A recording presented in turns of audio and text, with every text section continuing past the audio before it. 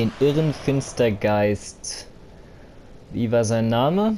Hm, Hodrick zu töten, der mich mit seinem Großschwert mit zwei Schlägen tötet. Während ich mit meinem Großhammer, der erheblich langsamer ist und eigentlich viel mehr Schaden verursachen würde, oder sollte,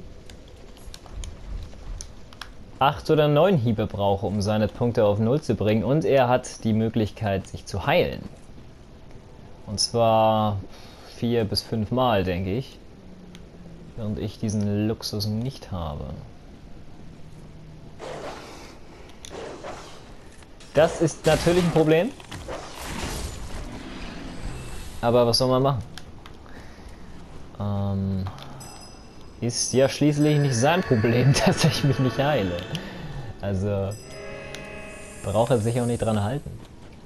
Da hinten ist ein Item. So, sein Zeichen ist hier zu finden. Oh, er trifft mich. Nein, er trifft mich nicht. Oh, er wurde nicht ges... Doch, er wurde gestaggert. Alles klar, dann ist das alles gut. So, Hodrick, du Scheusal, dann müssen wir mal wieder ein kleines Tänzchen wagen. Persönlich glaube ich nicht, dass ich in der Lage bin, ihn zu besiegen. Er ist einfach ein zu krasses Arschloch. Huh. Ich könnte versuchen, ihn zu parieren, vielleicht? Wow, habt ihr das gesehen? Ein fucking Hieb? Leck mich! Ein Schlag macht so viel Schaden von ihm. Einer. Du bist so ein Arschloch. Komm her. Ja, kannst knicken. Nee, das, das, das krieg ich hin. Der macht zu viel Schaden. Ich krieg den nicht getötet. Ich könnte ihn parieren oder so, aber... Oh, er ist einfach zu fucking zu fucking stark. Er macht zu viel Schaden und ich muss ihn zu oft treffen, dass ich ihn töten kann. Und er heilt sich dann auch noch. Oh, nee, also ich habe schon drüber nachgedacht, dass ich hier mit meiner äh, No-Estus-Regelung hier zu einigen schwerwiegenden Problemen kommen werde. Der Anfang funktionierte noch ganz gut, aber spätestens hier sieht man, dass ich da kein Land sehe. Die einzige Möglichkeit ist, dass ich ihn entweder, wie man so schön sagt, cheese, irgendwie im Fernkampf, oder dass ich ihn drei, viermal pariere. Das wäre vielleicht noch eine Möglichkeit. Oh nein. Ich kann dich staggern, du hast nämlich keine Balance. Und im Gegensatz zu Hodrick kann ich dich in drei Hieben töten, während Hodrick eben ein bisschen, ein bisschen zäher ist als du. Jetzt dasselbe Item hier, wie auch schon im ersten Durchlauf. Und hier dasselbe Set. Oh, ich würde Hodrick echt gern töten, aber... Ihr habt gesehen, wie krass der reinhaut, dieser Kerl. Das ist der blanke Wahnsinn. Ich könnte versuchen, ihn gegen eine Krabbe hier kämpfen zu lassen. Das könnte klappen.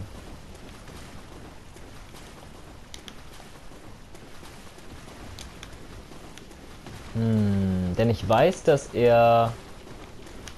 Ich weiß, dass er Gegner attackieren kann. Er hat zwischendurch einen Hund, glaube ich, getötet. Irgendwann mal. Das war die Rüstung der Gefallenen, glaube ich, ne? So, rechts von mir befinden sich die Ausgestoßenen, die ins Exil geschickten. Die Beschützer der Fahrunfeste hier. Und wenn die auch nur ansatzweise so stark sind wie der gute Hodrick, dann habe ich hier gewisse, gewisse Probleme.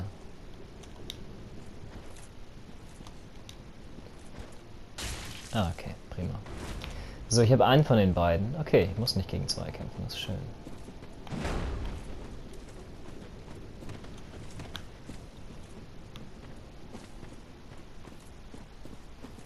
zu Hyper Armor. Hm. Fuck.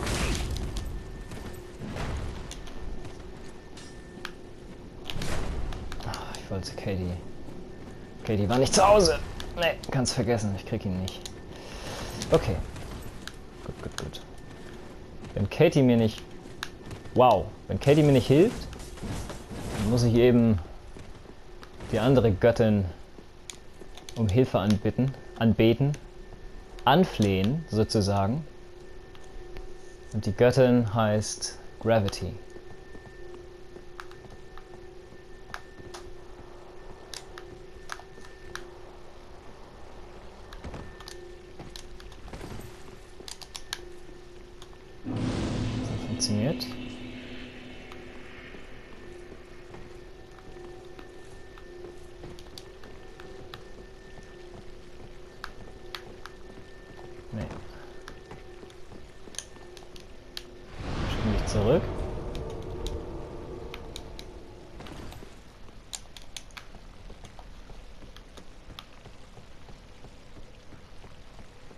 Probieren das Ganze dann nochmal.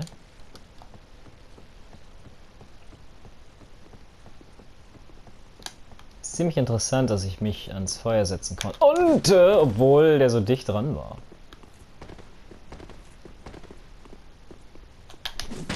Ja, ich hab dich. Schaden mache ich? Ja, relativ viel. Scheiße. Ich hab dich. 300 Knochen. Das Verbandengroßschwert, das bezeichnet auch sehr gut. Da oben ist der alte Jungturm. Da war jemand wohl ungehalten, dass ich seinen besten Freund hier abgeschlachtet habe.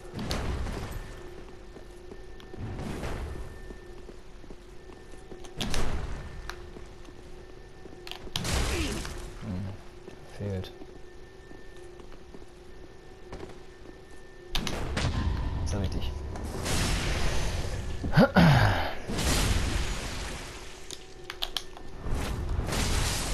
Er wollte sich gerade heilen. Das scheine ich verhindert zu haben. Ja, die sind im Vergleich zu Hodrick, sind die fucking lachhaft. Wenn man sieht, wie viel Schaden Hodrick, mit einem Hieb verursacht und wie schnell seine Angriffe auch im Vergleich sind. Der irre Finstergeist Hodrick, das ist ein Monstrum. Er ist ein verficktes Monstrum. Ich würde sogar davon ausgehen, dass er hier die Bosse allein töten kann in dem Spiel. Selbst hier in NG plus 1. Hodrick ist der Tarkus dieses Spiels hier. Der Schwarzeisen-Tarkus oder Jester Thomas oder was weiß ich. Der ist völlig irrsinnig.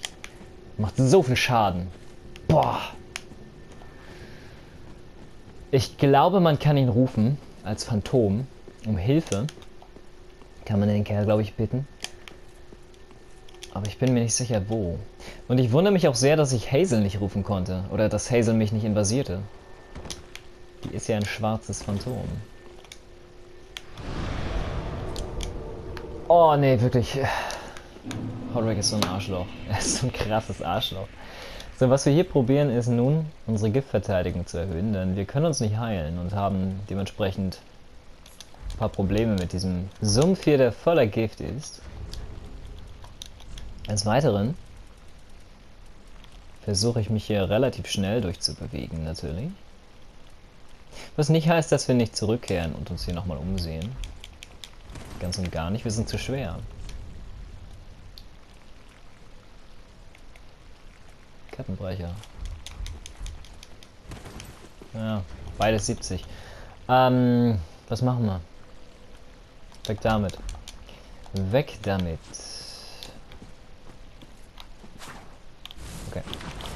Oh Gott, das Gift zieht ja richtig, richtig flink hier ab.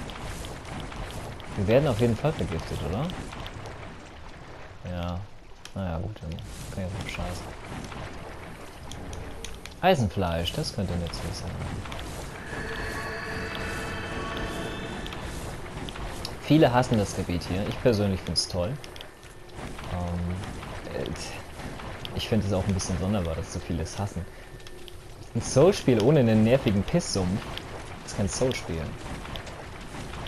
Und bislang gab es noch kein Soul-Spiel, in dem es keinen nervigen Pisssumpf gab. Selbst in Bloodborne gab es einen. Es gibt einfach so gewisse Elemente in den Spielen, die, wenn sie nicht vorhanden sind, den Titel disqualifizieren als Soul-Spiel. Jetzt werde ich invasiert von Hazel. Oh, das ist nett. Da hinten ist sie, ne? Kann das sein? Ich habe da Licht gesehen. Da hinten, oder? Oh, fucking hier vorne ist die. Die alte Fotze. Ah, nett. Du kannst mal gerne einen Hammer schmecken. Ey, der Vergleich ist fucking irrsinnig. Die ist so viel schwächer als Hodrick. Ah, wie schnell.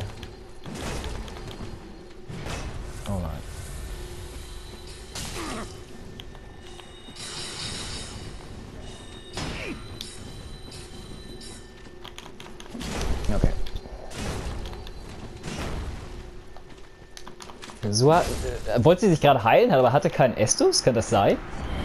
Hatte sie nur einen Estus? Das könnte tatsächlich der Fall sein hier. Das finde ich interessant. Sogar sehr. Ähm ja, hier sieht man ganz gut den Vergleich. Ein Invasor hier in dem Spiel in NG plus 1 im Vergleich zu Hodrick. ja, das ist kein Thema. Aber fucking Hodrick, ist eine Maschine. Der ist einfach ein fucking Monster. Ich will nicht gegen ihn kämpfen. Und ihr könnt mich nicht dazu zwingen. Ihr zwingt mich nicht dazu. Hört auf. Hört auf, mich auszulachen. Scheiß Hodrick soll zur Hölle fahren. Diese, diese Sau. Ich meine, der erste Hodrick ist ja kein Thema. Den habe ich ja sogar besiegt hier in dem Durchlauf. Äh, hier, auch ohne Estus. Glaube ich zumindest. Ja, doch, ich schätze schon. Ach, scheiße, das ist dumm. Ist egal. Aber dieses Vieh, das war einfach nicht fair. Das, das gehört sich nicht, Leute. Das macht man nicht.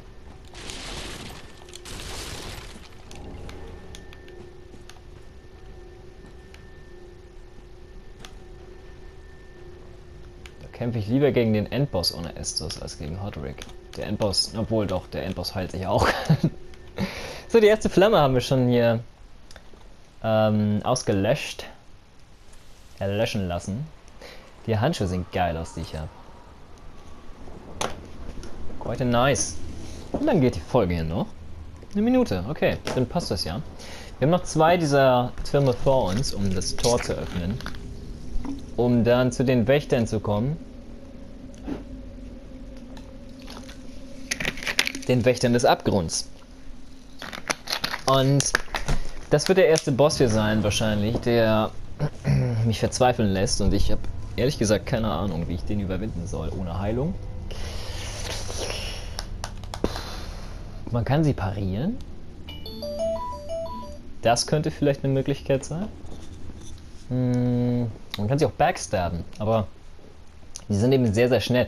Die erste Phase kriege ich wahrscheinlich sogar hin, aber die zweite Phase ist echt ein Problem. Ähm, denn die Wächter oder der spezifische Feuerwächter am Ende ist ein sehr, sehr aggressives Arschloch. Und ich weiß nicht, ob ich den schaffe. Ohne Fernkampf und ohne Estes. Mit dem Charakter hier. Wie dem auch sei. Ist ja alles hier schön und gut. Wir werden uns äh, beim nächsten Mal dann wiedersehen. Und ich hoffe, ihr fürchtet euch genau wie ich vor Hodrick. Adios, bis zum nächsten Mal.